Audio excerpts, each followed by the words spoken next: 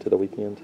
Um, this morning, met with Tanner already this morning, so this is the first day since, you know, we left uh, Nashville that he feels really good and ready to throw again. So I thought we'd been delaying it and we were going to wait till he feels really good to start playing catch. So we'll got our first good report of feeling great this morning. So some of the rehab and all the hard work that he and Anthony have been doing, he'll play catch today. So, you know, it's, it's one thing to feel a certain way. It's another thing to really to pick up that baseball and start throwing. So we'll throw today for the first time with Tanner and then reassess after this first uh, throwing event to see where he's at. I would say missing this much time between um, last Thursday up till today that he would be doubtful for this weekend versus Alabama. What's the, I guess, the, the message as you approach these last few weeks of the regular season? Yeah, I just use the word reset with the ball club, and somebody says, "How many times can you reset?" You reset as many times as you possibly need to, especially playing in the tough, toughest league in America. So, you know, we left here just a small two weeks ago. You know, winning with a walk-off win and a series victory against a really good ball club, and uh, now we're back at home. So, uh, reset's good um, uh, after a tough weekend, especially. We had five sweeps last week in SEC play, so it's that time of the year to where um, your, your feelings and a long year and battling, and you just have to continue. So we reset with that mindset of understanding we're back at home, and the guys need to know what they're playing for. We've kind of been at this point in time every single year. It, it comes into play for every team um, in the SEC. So we're really no different spot that we've been in the past. What we're blessed with, and part of the reset, is we have eight games at home uh, to finish up. We've played arguably, or just about as many road games as any team in the Southeastern Conference. Uh, to have eight games at home at this time of the year, there's no doubt that the next two and a half weeks will define our season of where we're headed. So, uh, a couple other things to hang our hat on is, you know, being 12th in RPI when I wake up this morning out of 299 schools and having the fourth strength of schedule. So, you know, our challenges are here and we'll put them to the side, you know. So whatever we have as far as challenges with our rotation as we went through the year, other schools are going through some of the same things. It's given us an opportunity to throw five freshman pitchers, and they've had a month now to really be thrown into the fire and on the road in the SEC and at home in the SEC to hopefully here in this stretch run that they've learned some things and can now that we've played 40 plus ball games, can really go in and try to do be, be good, you know, and really help us. Um, but I think strength of schedule, RPI, resetting again. Uh, I think the biggest thing, my one deal with our players is for them to. Uh, um, I'm gonna really care how they get on and off the field, how they carry themselves for every pitch. We're playing for so much here that um, I'm not looking for a woe is me attitude. I'm looking for fighting for every single pitch that we can over this eight-game stretch. And I think I've outlined that pretty clearly to the players, and I think they're ready for the challenge. You get to kick it off against your rival. Uh, that's always really neat. So every record, everything, uh, the game don't care about the back of your uh, baseball card, you know. And we even have some guys that can really capable of swinging a bat, and I don't think you can keep them down all year long.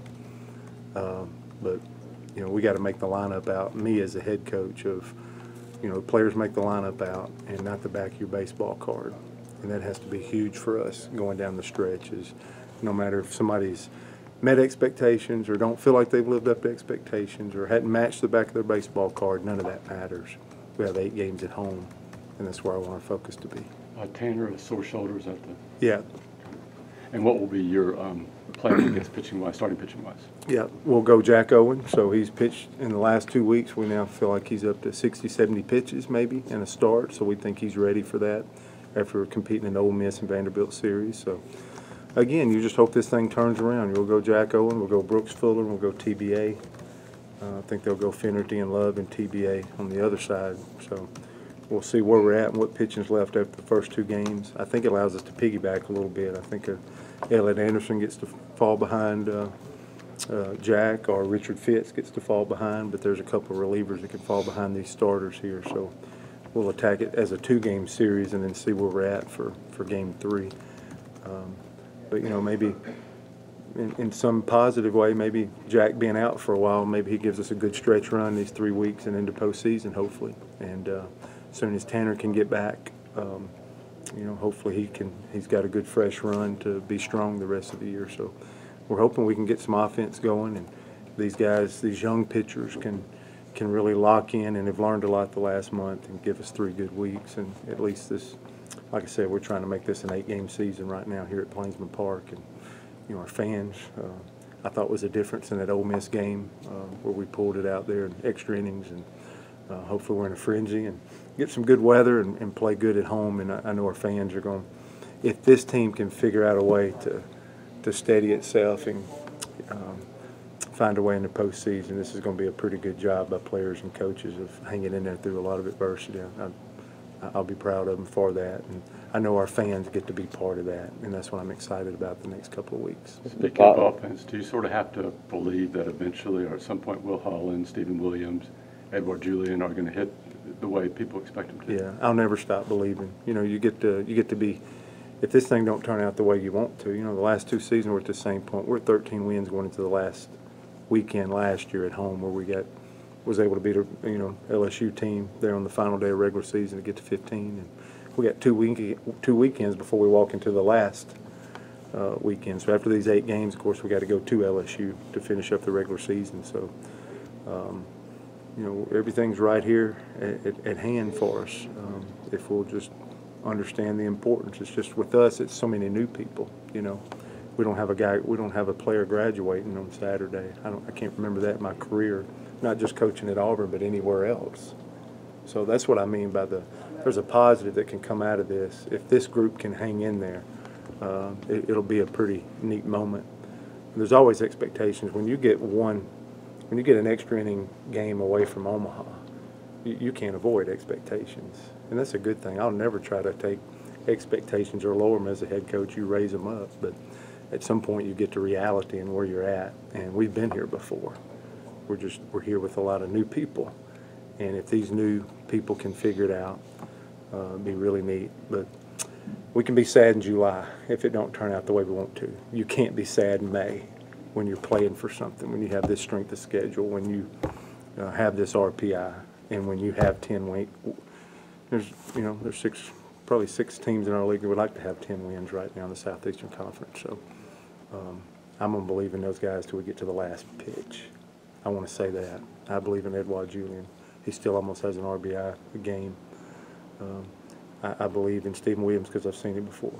I believe in Will Holland because he has not translated it to his defense. But I have challenged them that you're going to hang in there. You're going to get on and off this field. You're going to look fresh. You're going to play hard because we all know they could do more. They know they could do more. But I will believe in their at bats until we get to the last pitch of this season. That's my job is continue to believe in them. Um, so we had the bases loaded four times at Vanderbilt. We had first and second seven times. Uh, we did get some hits. Rankin Woley hit a big three-run home run, but we're down eight to one. The, these moments, whenever it happens, it can explode. And just as quick as you can get one way, with young people, you can get going another way just as fast. And we're going to get one of those swings. And as soon as one of those swings comes, when it matters, um, you know, we could really, really build off that and really ignite from that. So I'm going to keep believing that that moment's right around the corner for our baseball team. Wanted to ask you one uh, about Casey. I haven't had a chance to talk to you since